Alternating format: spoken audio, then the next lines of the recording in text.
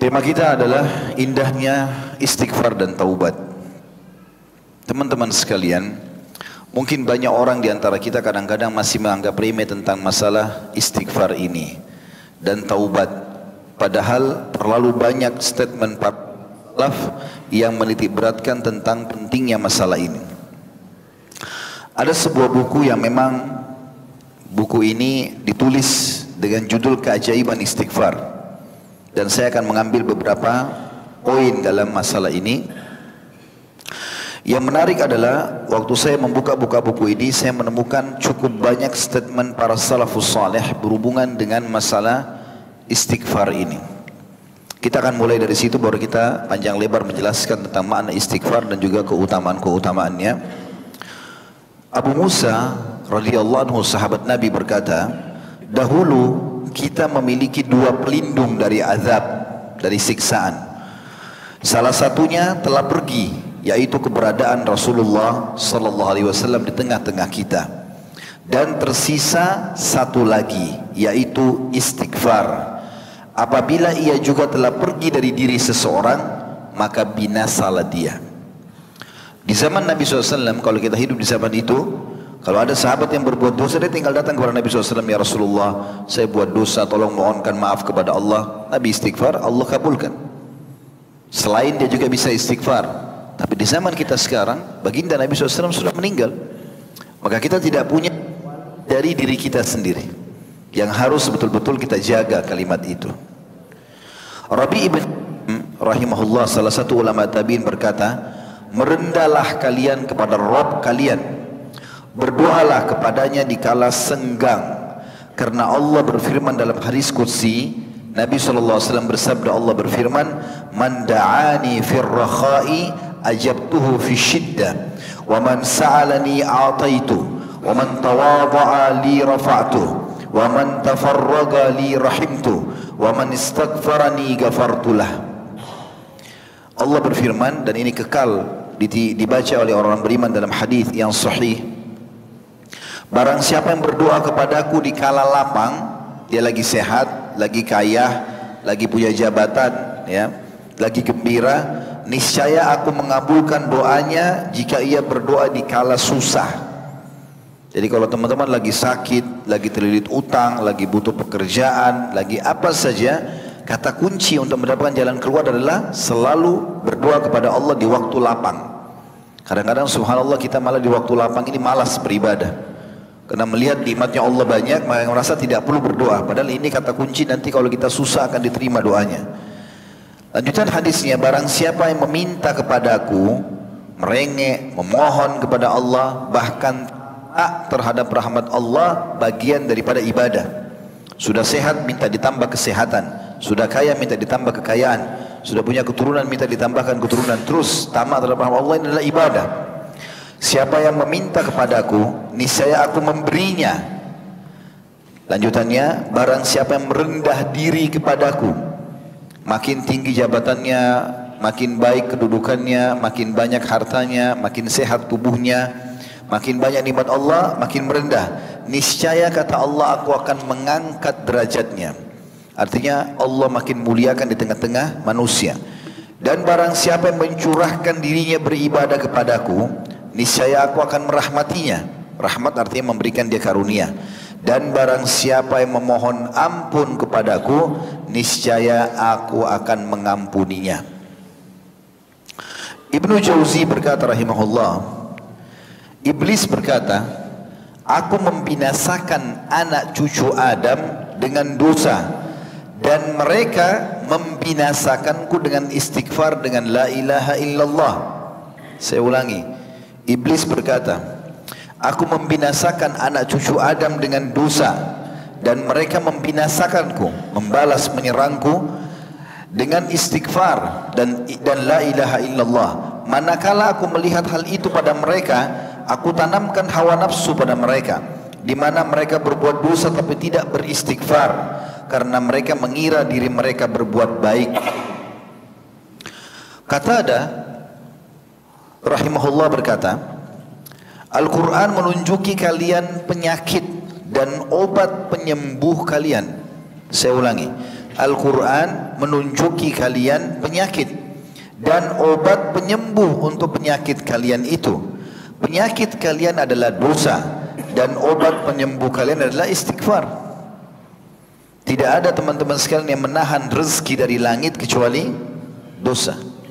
Maka istighfar penyebab kita mendapatkan kembali itu semua. Ali bin Abi Thalib radhiyallahu anhu berkata, yang aneh adalah orang yang binasa padahal keselamatan ada bersamanya.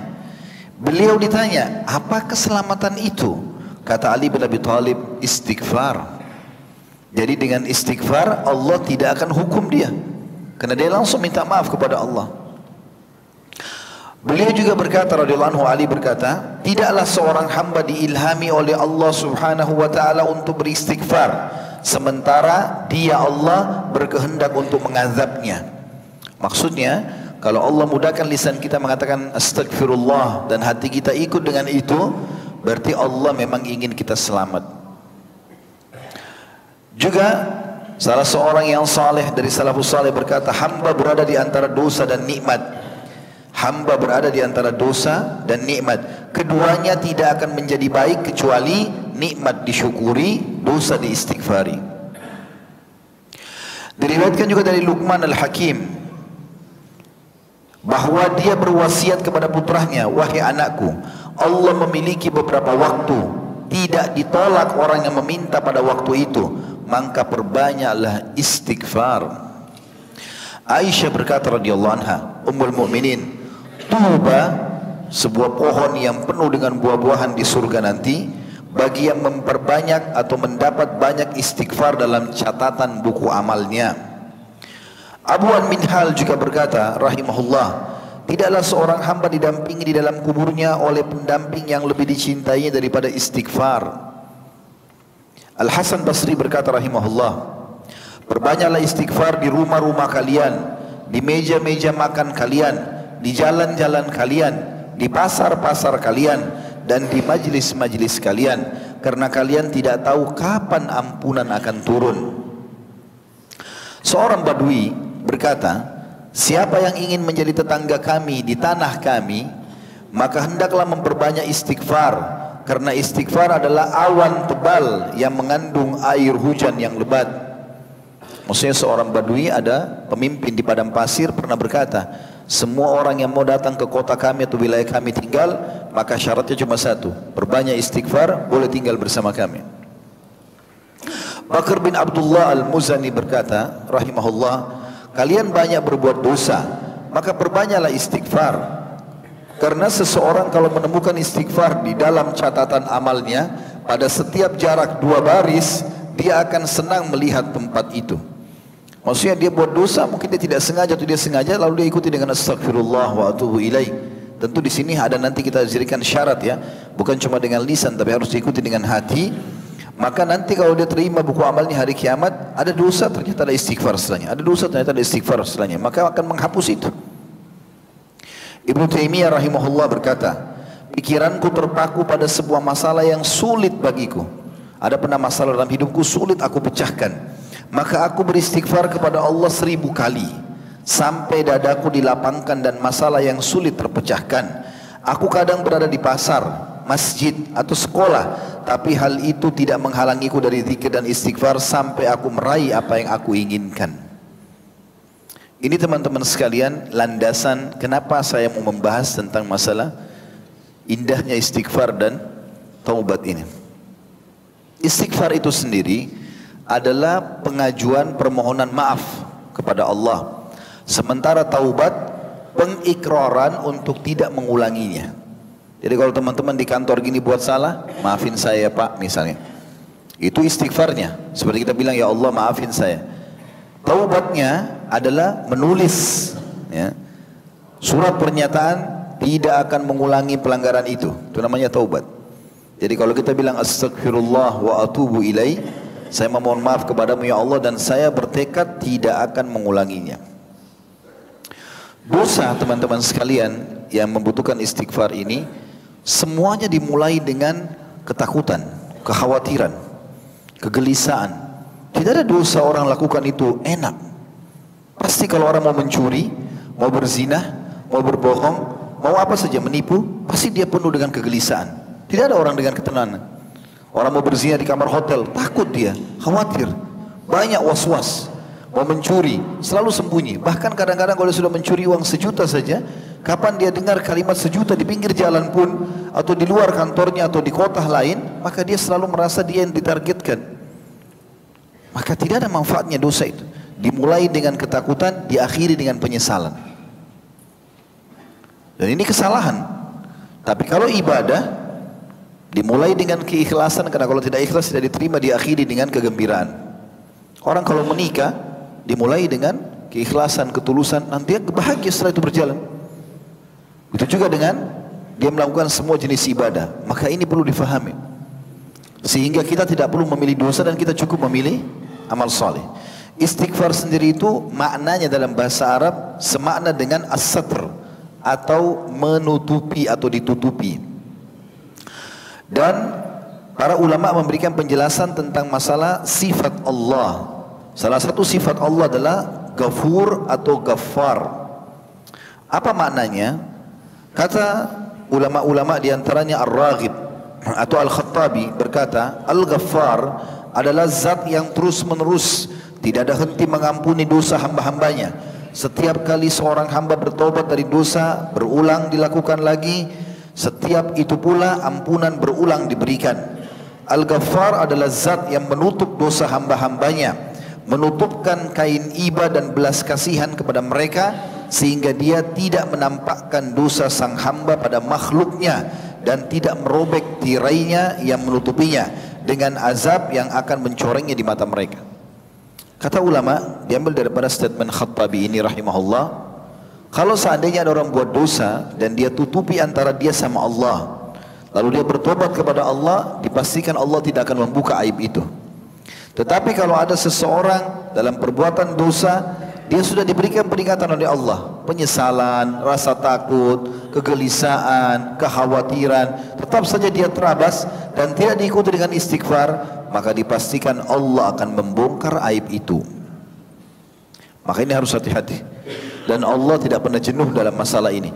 Kata Nabi SAW dalam hadis Bukhari Muslim, Allah tidak akan pernah jenuh sampai kalian jenuh.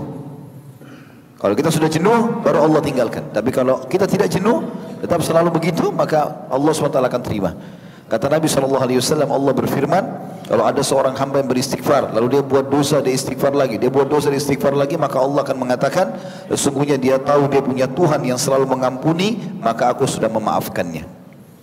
Juga ada seorang sahabat mengatakan, Ya Rasulullah, kalau aku buat dosa, apa yang harus aku lakukan? Kata Nabi SAW, istighfar. Kata dia, kalau aku melakukannya lagi, kata Nabi SAW, istighfar. Terus saja orang itu mengulangi dan terus saja Nabi SAW mengatakan istighfar. Tapi teman-teman sekalian, kita harus menitik beratkan poin penting dalam masalah istighfar ini tentunya. Karena memang kita selalu pasti akan buat dosa ya. Tidak ada di antara kita yang tidak luput dari dosa teman-teman sekalian. Dengan tergantung orang itu melampaui batas atau dia hanya terjerumus pada keadaan-keadaan yang dia tidak bisa menghindar misalnya. Tapi dia harus sadar itu dosa. Nabi SAW sudah mengatakan itu dalam sebuah hadis yang sahih. Kullu ibn Adam khatta'un wa khairul, wa khairul khatta'in at-tawwabun. Semua ada Adam pasti berbuat dosa. Tetapi sebaik-baik mereka adalah yang selalu atau banyak bertaubat. Dan taubat artinya dia berikrar kepada Allah tidak akan mengulanginya. Gitu kan. Di sini bukan kita mengatakan lakukanlah dosa, lalu istighfar, dosalah istighfar, bukan itu yang dimaksud. Karena nanti akan kita jelaskan ada statement para ulama yang mengatakan kalau istighfar itu hanya boleh diikuti dengan lisan dan hati dan memang dia bertekad tidak mengulanginya. Kalau orang seperti ini kemudian dia terjerumus dalam dosa satu waktu tanpa dia sengaja lagi atau dalam kondisi tidak sadar, maka tetap Allah akan terima istighfarnya. Tapi kalau istighfar hanya permainan lisan, astagfirullah tapi tetap saja masih dalam sesuatu yang haram dengan tidak niat meninggalkannya, maka ini tentu saja istighfarnya itu butuh istighfar yang lain. Sebagaimana dijelaskan oleh para ulama. Saya jelaskan misalnya atau ini penyampaian disampaikan oleh para ulama berhubungan dengan masalah itu. Ibnu Qayyim berkata rahimahullah, siapa yang beristighfar dengan lisannya dan tidak diikuti oleh hatinya, maka berarti istighfarnya itu harus diikuti dengan istighfar yang lain. Artinya memang dia bermain-main dalam masalah istighfarnya itu. Mirip dengan kalau kita kerja di kantor seperti ini, memohon maaf sama atasan, maafin saya pak, tapi besok diulangi lagi. Minta maaf lagi lusa, ulangi lagi besok. Atau lusanya, atau hari setelahnya. Maka ini dipecat tentunya. Walaupun Allah subhanahu wa ta'ala berbeda dengan keadaan manusia. Berulang-ulang pun kita mengerjakan, maka Allah subhanahu wa ta'ala masih bisa memaafkannya. Tapi ingat, memang pada saat kita minta maaf pertama itu, atau pada saat melakukan dosa memang diikuti dengan kehadiran hati. Istighfar ini teman-teman hanya boleh untuk diri kita dan untuk orang lain yang masih atau dalam keadaan beriman. Kalau orang dalam keadaan tidak beriman maka tidak boleh kita memohon ampun untuknya. Kalau dia masih hidup, kita boleh meminta agar Allah berikan dia hidayah, petunjuk. Tapi kita tidak boleh memohon agar dosanya dia maafkan. Itu sesuai dengan statement para ulama pada saat Nabi Ibrahim alaihissalam berkata kepada ayahnya. Waktu ayahnya berkata dalam surah Maryam ayat 46, A'udzu billahi minasyaitonir rajim, la illam tantahi la arjumannak wahjurni maliya jika kamu tidak berhenti mendakwah, mendakwahiku hai, hai Ibrahim ini kata ayahnya Ibrahim alaihissalam maka niscaya kamu akan kurajam atau akan kubunuh dan tinggalkan aku untuk waktu yang lama. Pergi dari aku tidak usah urus aku. Padahal ayahnya dalam keadaan kafir. Maka setelah kata-kata ini keluar Ibrahim alaihissalam menjawab dengan santun beliau mengatakan lanjutan ayatnya qala salamun alaik sa'astaghfiru laka rabbi innahu kana bi hafiyah Ibrahim berkata, semoga keselamatan dilimpahkan kepadamu wahai ayahku. Aku akan memohon ampun bagimu kepada Rabbku. Sesungguhnya dia sangat baik kepadaku. Maryam ayat 47. Di sini Ibrahim alaihissalam memohon ampun atau akan memohon ampun untuk ayahnya yang dalam keadaan kafir itu ditegur oleh Allah Subhanahu wa taala. Allah Subhanahu wa taala menyebutkan dalam surah At-Taubah ayat 114. Jadi setelah dilur, di, dia mohon dia, dia akan memohon ampun, maka Allah melarang dia memohon ampun untuk keluarganya atau ayahnya yang dalam keadaan kafir. Dan Allah mengingatkan setelah datang peringatan kepada Ibrahim, Ibrahim meninggalkan itu. Dalam firman-Nya At-Taubah 114, A'udzu billahi minasyaitonir rajim, "Wa ma kana istighfaru Ibrahim li abihi illa am mau'idatin wa'adaha iyyahu falamma tabayyana lahu annahu aduwwun lillahi tabarra'a min inna Ibrahim la'awwahun halim." Dan permintaan ampun dari Ibrahim kepada Allah untuk bapaknya tidak lain hanyalah karena suatu janji yang telah diikrarkannya kepada bapaknya itu. Maka tak kala jelas bagi Ibrahim bahwa bapaknya itu adalah musuh Allah. Dalam keadaan kafir maka Ibrahim berlepas diri darinya. Sesungguhnya Ibrahim adalah seseorang yang sangat lembut hatinya lagi penyantun juga tidak boleh memohon ampun bagi orang-orang musyrik ya. Sama kafir musyrik tapi orang musyrik ini sebenarnya mereka beriman sama Allah tapi masih menyekutukan Allah Subhanahu wa taala. Sebagaimana Allah mengingatkan Nabi Muhammad sallallahu alaihi wasallam di dalam firman-Nya surah At-Taubah 113. A'udzu billahi minasyaitonir rajim. Ma kana lin nabiyyin wal ladzina amanu ma kana lin nabiyyin wal ladzina amanu an yastaghfiru lil musyrikeen walau kanu uli qurba min ba'di ma tabayyana lahum annahum ashabul jahim. Yang artinya tidaklah sepatutnya bagi nabi Nabi Muhammad sallallahu alaihi wasallam. Dan orang-orang yang beriman meminta ampun kepada Allah bagi orang-orang musyrik. Walaupun orang-orang musyrik itu adalah kaum kerabatnya. Sesudah jelas bagi mereka bahwasanya orang-orang musyrik itu adalah penghuni neraka jahanam kalau dalam keadaan hidup kita minta agar Allah Subhanahu wa taala memberikan dia hidayah. Kalau sudah mati lebih lebih jauh lagi, lebih tidak bisa dimohonkan ampun. Kalau sudah meninggal dalam keadaan kafir. Makanya teman-teman yang masih punya kerabat yang non muslim, usahakan bagaimana dia bisa untuk membantu ya e, menyampaikan kepada dia hidayah, menyampaikan kepada dia syahadat dan tidak usah khawatir apakah dia terima atau tidak. Tugas kita menyampaikan. Waktu Abu Talib disebutkan dalam sebuah riwayat yang sahih. Waktu Abu Talib paman Nabi SAW akan meninggal dunia atau menjelang kematian Nabi SAW datang menjenguknya. Sementara di sisinya ada Abu Jahal. Lalu Nabi SAW berkata Hai pamanku, hai pamanku ucapkan La ilaha illallah. Sebuah kalimat yang bisa aku sebutkan sebagai argumentasi atau hujah bagimu di sisi Allah hari kiamat. Abu Jahal dan Abdullah bin Abi Umayyah berkata Hai Abu Talib, apakah kau membenci agama Abdul Muttalib? Bapakmu maka mereka berdua terus senantiasa mengulang-ulangi perkataan mereka sampai akhirnya perkataan terakhir yang diucapkan oleh Abu Talib adalah saya tetap berpegang pada agama Abdul Muttalib atau agama menyembah berhala musyrik Maka Nabi SAW bersabda, Aku akan terus memohon ampun untukmu selama aku tidak dilarang. Maka turunlah firman Allah Subhanahu wa taala, "Maka li nabiyyin walladzina amanu an yastaghfiru lil musyrikin walau kanu uli qurba min ba'di ma tabayyana lahum annahum ashabul jahim."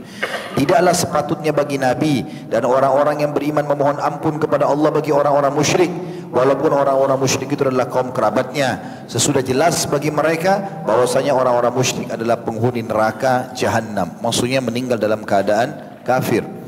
Kemudian juga dalam surah Al-Qasas ayat 56 Allah berfirman, "A'udzu billahi minasyaitonir rajim. Innaka la tahdi man ahbabta walakin Allah yahdi man yasha wa huwa a'lamu bil muhtadin."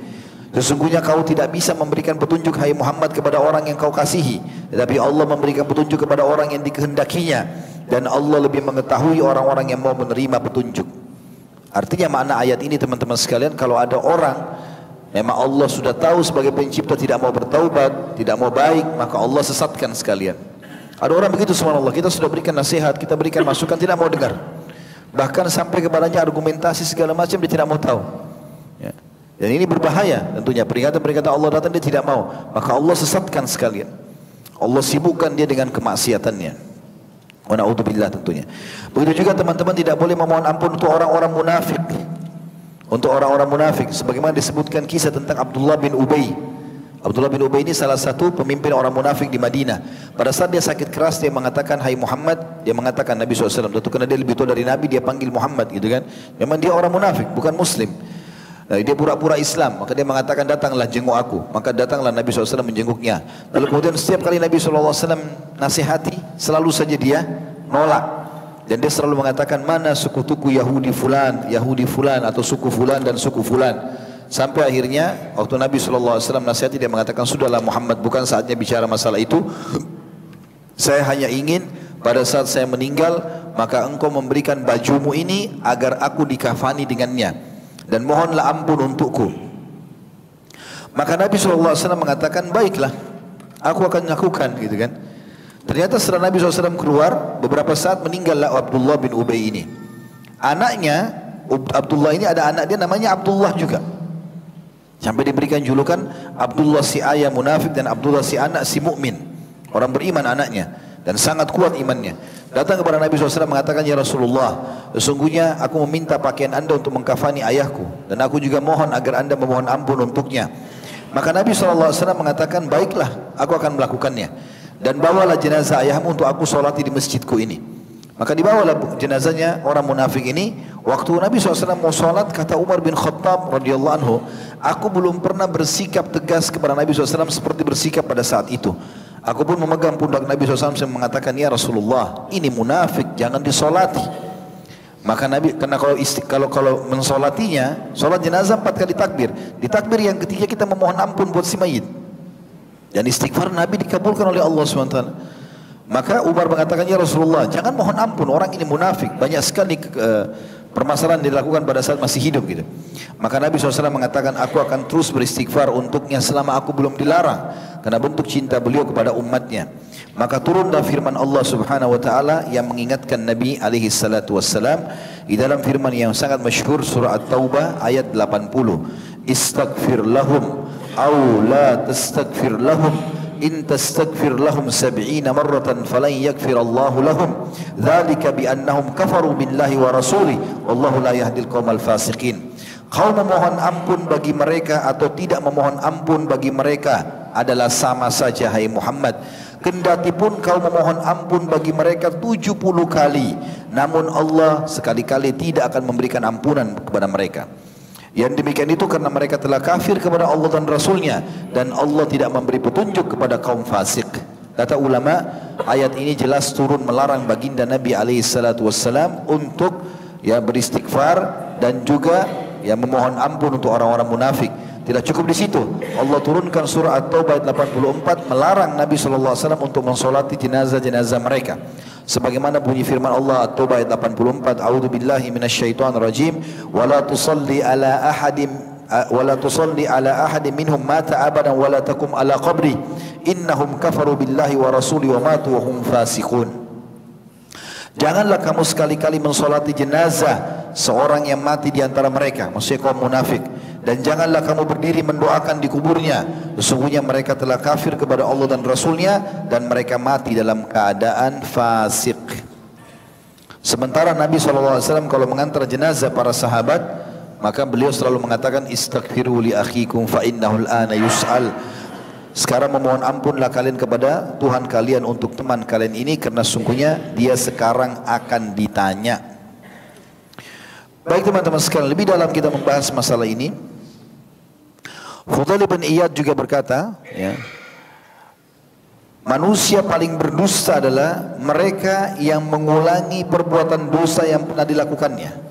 Kita sekarang meninggalkan tidak bolehnya memohon ampun untuk orang-orang tadi itu sudah cukup sekarang kita kembali ke diri kita sendiri bagaimana kita bertobat dan istighfar kepada Allah.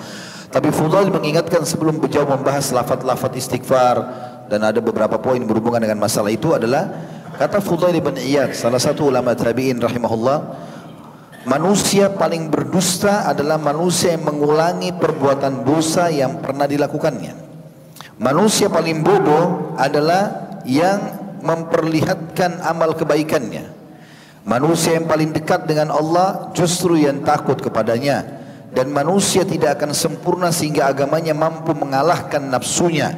Dan manusia tidak akan binasa sehingga nafsunya mengalahkan agamanya. Dan ini sebuah nasihat yang luar biasa. Oleh karena itu teman-teman kita harus betul-betul menjaga. Sekali kita istighfar memang kita jaga diri kita dari dosa. Sudah sudah katakan tadi dosa itu selalu diawali dengan ketakutan, diakhiri dengan penyesalan. Tapi kalau ada seseorang terjerumus dalam dosa, jangan dia putus asa dari rahmat Allah, tetap dia kembali kepada Tuhannya. Karena syaitan kata para ulama sering kali kalau seseorang sudah berbuat dosa, maka dia membuatnya putus asa. Kamu kan sudah kotor, kamu sudah terlanjur buat, lakukan aja lagi.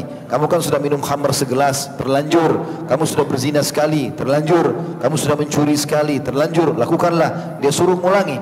Padahal dengan mengulangi dosa tersebut berarti juga mempersiapkan diri untuk menerima dosa atau hukuman lebih banyak.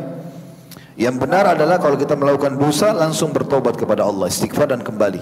Memohon kepada Allah SWT agar hati kita ditenangkan untuk tidak mengulangi dosa itu lagi. Ada beberapa jenis lafaz-lafaz istighfar yang ditulis oleh para ulama.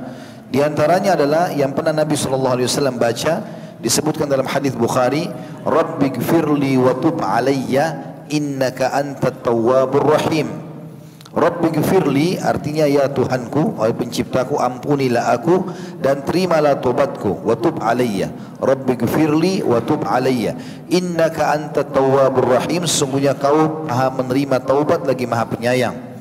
Juga Nabi alaihi salatu wasallam bersabda dalam sebuah hadis yang diriwayatkan Abu Dawud, Tirmidzi, Al-Hakim dan ini sahih sesuai dengan syarat Imam Bukhari Muslim.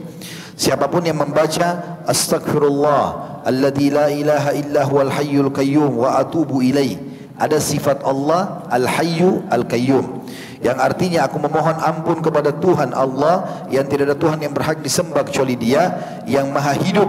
Ini tadi Al-Hayyu Lagi yang terus menerus mengurus makhluknya. Ini Al-Qayyum Dan aku bertobat kepadanya. Maka akan diampuni dosanya Walaupun sebanyak bui di lautan Astaghfirullahal azim astaghfirullah alladzi la ilaha illa huwal hayyul qayyum wa atubu ilaih. Juga ada lafaz yang lain diriwayatkan oleh Imam Bukhari Muslim. Nabi SAW sering membaca astaghfirullah wa atubu ilaih. Ini yang paling ringkas. Astaghfirullah wa atubu ilaih. Astaghfirullah wa atubu ilaih. Ini juga artinya aku memohon ampun kepada Allah dan bertaubat kepadanya. Di antara juga yang diajarkan Nabi SAW adalah Sayyidul Istighfar atau tuannya istighfar yang berbunyi Allahumma anta rabbi la ilaha illa anta khalaqtani wa ana abduka wa ana ala ahdika wa wa'dika mastata'at. A'udhu bika min syarri ma sana'tu wa abu'u laka bi ni'matika alayya wa abu'u bi dhanbi fakfirli fa innahu la yakfiru dhunuba illa ant. Ya Allah engkau adalah Rabbku dan makna Rabb pencipta, pemilik, penguasa, pemberi rezeki. Tidak ada Tuhan yang berhak disembah kecuali engkau. Engkau lah yang telah menciptakanku dan aku adalah hambamu. Aku senantiasa berada dalam perjanjian denganmu dan aku yakin ada akan janjimu tentang pahala bagi orang yang beriman dan hukuman bagi orang-orang yang durhaka. Semampuku, aku berlindung kepadamu dari kejelekan yang aku perbuat atau dosa yang aku perbuat.